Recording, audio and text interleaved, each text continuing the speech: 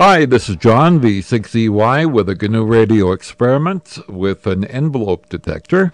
And what I've done is I've created an envelope detector in GNU Radio. And uh, I'm feeding a signal with a carrier of 40 kilohertz and an audio modulation of 600 hertz. And uh, you can see here the creation of the modulated signal. It's 100% modulation. Okay. And then I've got this running through a homemade envelope detector, followed by a low pass filter, and then creating some audio.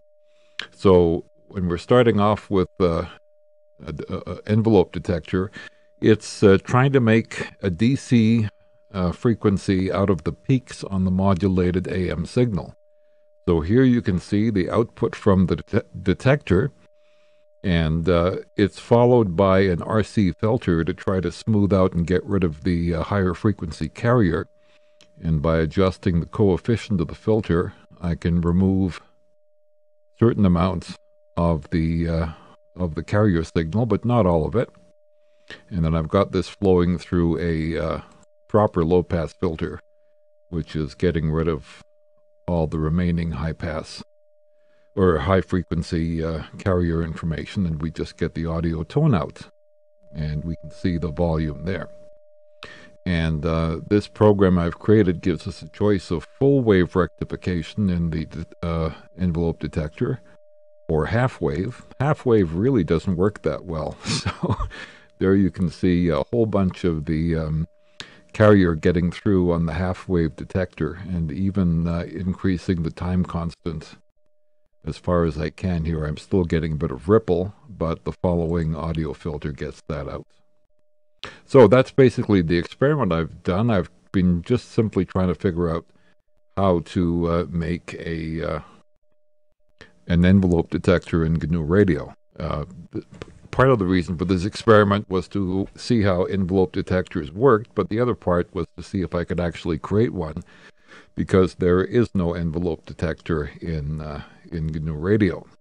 And for good reasons, too, and I'll explain those a bit later. Anyway, so to create uh, this um, little signal here, I've got two signal sources. One is the carrier, and one is the audio.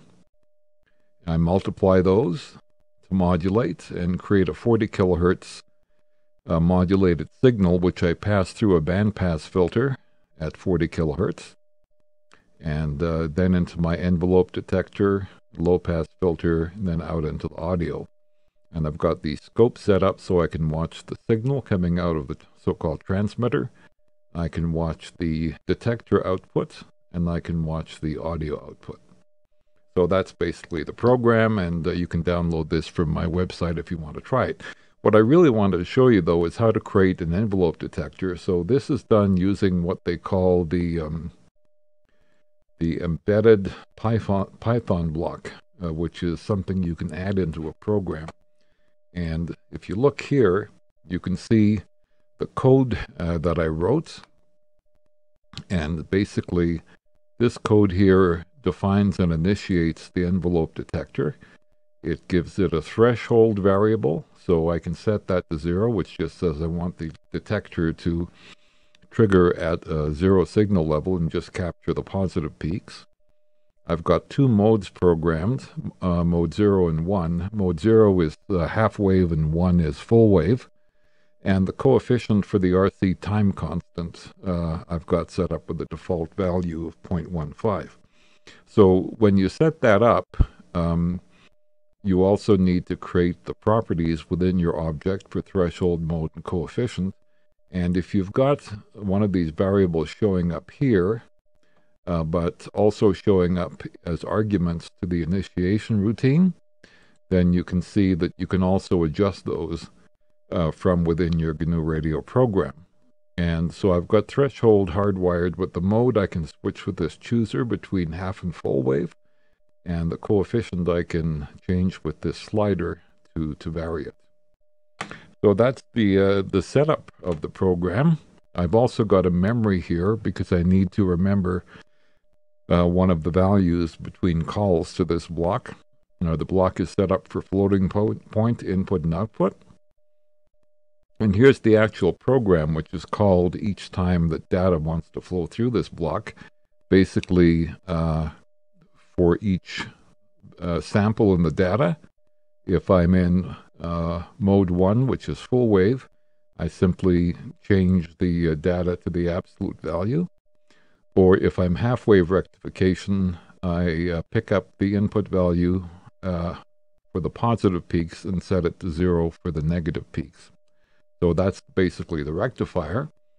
And then I've got the RC filter is just a very simple one-pole recursive filter here that works its way through and smooths out, uh, acts basically as a low-pass filter, and then it returns the data. So that's the code that I've written for this low-pass filter. And what you can see then when it's working is your input signal is a 600 hertz tone modulated on a 40 kilohertz carrier. The uh, half wave detector is picking up the uh, half wave peaks from the carrier and then smoothing them to get the 600 hertz tone output.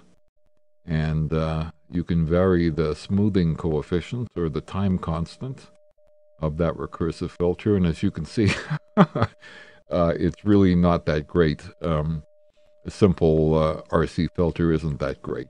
But if you pass that through a, a decent low pass filter, then you can get uh, get a good output. Uh, for full wave rectification, you get a better quality coming out of the detector. Still got a bit of the carrier wave showing up, uh, but uh, fairly clean. And uh, you can vary the RC filter so this whole program is just basically to experiment and show you how you can build a, pro a processing block in GNU Radio and get it to do something in addition to what's already built into the program. And uh, this uh, simple envelope detector is kind of neat to play with and uh, get an understanding as to how it works and how to write some code for GNU Radio.